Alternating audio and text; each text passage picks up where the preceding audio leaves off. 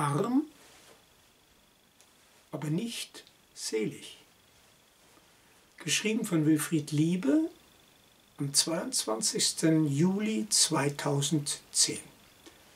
Arm, aber nicht selig.